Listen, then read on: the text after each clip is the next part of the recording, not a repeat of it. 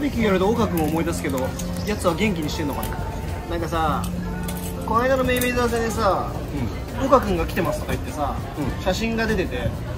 ああツイッターで見ました。ツイッター見た。溝口さんだったし。確かに目元似てるな。髪型も。髪型が似てんだよね。そこだけだもん。